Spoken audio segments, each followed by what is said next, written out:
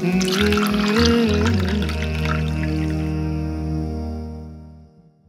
kopinya? Enak mas. Enak mas. Enak. Pahit gak? Lumayan sih mas. Lumayan ya. ya. Namanya juga kopi. Iya namanya juga kopi. Kalau minum manis ya iya. minum susu, minum iya. jus. Gitu. ya mas, hmm. balik ke rencana kami tadi. Hmm. Kami kan mau ikut kontes foto Instagram. Foto Instagram. Jadi setahu saya nih, udah banyak orang melakukan berbagai cara untuk menang di kontes foto Instagram ini. Teman saya juga ada yang sampai operasi plastik tuh mas, sampai mukanya diubah-ubah gitu. Iya. Itu saya mau nanya mas, dalam agama Islam itu boleh nggak kami untuk operasi plastik supaya menang kontes Instagram apa foto Instagram ini mas? Instagram ya. Tentang operasi plastik ya. Eh, kalau kita baca sejarah sih operasi plastik ini baru ada di dunia medis juga baru-baru ini. Di zaman Rasulullah dan juga para sahabat mungkin belum ada setelah operasi plastik namun inilah hebatnya Islam mulianya Islam. Kita sudah diberikan rambu-rambu tentang hal-hal yang akan terjadi ya. Salah satunya adalah tentang operasi plastik ini. Jadi kita punya panduan punya pedoman bagaimana kita menyikapi tentang operasi plastik.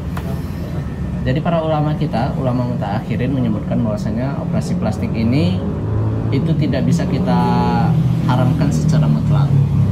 Jadi dia ada pembagiannya. Operasi plastik ini eh, plastik itu kan istilah dari Yunani ya, bahasa Yunani. Artinya membentuk. Jadi operasi plastik operasi mengubah bentuk. Baik mengubah bentuk yang awal mula keadaannya itu rusak supaya diperbaiki menjadi bagus.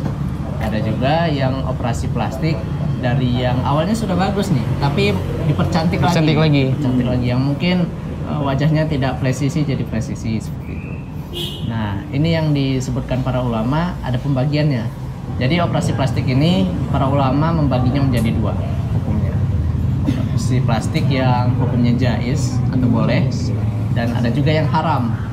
Nah, yang boleh ini kapan dan seperti apa?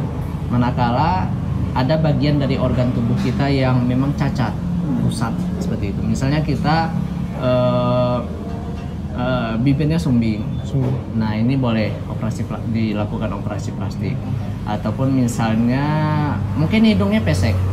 Nah tapi e, karena hidungnya pesek ini menyulitkan dia untuk bernafas. Nah ini diperbolehkan. Begitu juga dengan gigi. Misalnya giginya tidak e, rata e, yang mungkin menyulitkan dia untuk Mengunyah. makanan. Nah ini diperbolehkan. Tapi kalau seandainya dia memiliki hidung yang mungkin tidak mancung, dan sebenarnya tidak ada masalah dengan pernapasan. Lalu dia me- memancungkan hidungnya supaya terlihat lebih cantik, lebih terlihat lebih ganteng. Ini dilarang dalam Islam. Jadi hukumnya haram. Tapi kalau misalnya keadaannya cacat, yang mungkin awalnya tangannya mungkin tidak baik, ya susah untuk makan ataupun minum, ini boleh diperbaiki seperti itu. Jadi tergantung keadaannya. Kalau keadaan yang memang menuntut eh, supaya mungkin memudahkan dia untuk eh, melakukan aktivitas, untuk makan, untuk bernafas, melihat, eh, ini diperbolehkan. Tapi kalau seandainya eh, yang ada dan tidak ada masalah, kemudian dipercantik ini yang dilarang seperti itu. Apalagi hanya untuk sekedar mengikuti kontes foto Instagram. Nah ini demi ketenaran Iya, ya cuma ketenaran. Saya rasa kalau untuk mau menang kontes Instagram ya kita yang paling penting mungkin cari model yang bagus. Iya. Nah, kemudian cari spot foto yang bagus juga yang terlihat menarik. Seperti itu sih. jadi kalau yang udah melakukan itu gimana Ya kalau terlanjur tidak mungkin dirubah lagi kan. Gitu. Jadi kalau memang sudah terlanjur dilakukan maka seharusnya dia bertobat kepada Allah Subhanahu wa taala. Tobat dengan empat syarat. Jadi kita harus melakukan tobat nasuha, tobat yang bersungguh-sungguh. Yang pertama syaratnya kita harus meninggalkan perbuatan tersebut. Ya. Kemudian yang kedua kita harus menyesalinya. Yang ketiga kita memohon ampun kepada Allah Subhanahu wa taala atas perbuatan kita tersebut. Yang keempat, kita e, bertekad agar tidak kembali melakukan kesalahan yang sama seperti itu. Dan kalau kita e, dosa kita berhubungan dengan manusia, maka ditambah satu syarat lagi, yaitu kita harus meminta keridoannya. Kita harus menyelesaikan masalah kita sama manusia.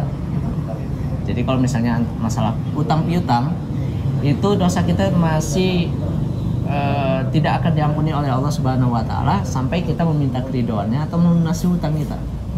seperti itu. Jadi mas kalau itu kan tadi kan orangnya, bagaimana eh, dokternya gitu? Dokternya ya, Eh, dokternya yang melakukan itu. Ya sama saja, Mas Adi. tergantung keadaan. Kalau seandainya pasiennya minta operasi plastik eh, mempercantik. mempercantik, maka ini dilarang. Hmm. Maka dia tidak boleh melakukannya. Tapi kalau seandainya dia dimintai untuk membedah operasi plastik seseorang yang bibirnya sumbing ataupun cacat, ini diperbolehkan. Seperti itu. Jadi hukumnya hampir sama dengan orang yang meminta operasi plastik. Hmm, Pasti kalau untuk mempermudah itu tidak masalah kan mas? Tidak Ketika di masalah. dalam bagian tubuhnya itu ada, masalah. yang tidak ada yang bermasalah. Eh. Nah, kalau ada yang bermasalah maka tidak apa-apa. Hmm, Jadikan normal seperti itu. Paham ya? paham. Itu insya Allah pak. Ya gitu. Terima kasih ya mas ya, informasinya sangat berguna sekali. Mas. Ya, oh ya mas, kami juga buru-buru mau kerja lagi di luar mas. Gitu. Ini kopinya berapa mas? Dua ini? Sekalian ya berdua Iya. dua puluh ribu aja. Dua puluh ribu aja. Dua ribu. Ini mas. Oke. Terima kasih ya mas. Ya. Sekali lagi terima Sekali lagi kasih terima mas. Yuk. Sangat berguna sekali. Assalamualaikum. Waalaikumsalam. Assalamualaikum mas. Oke. Ayo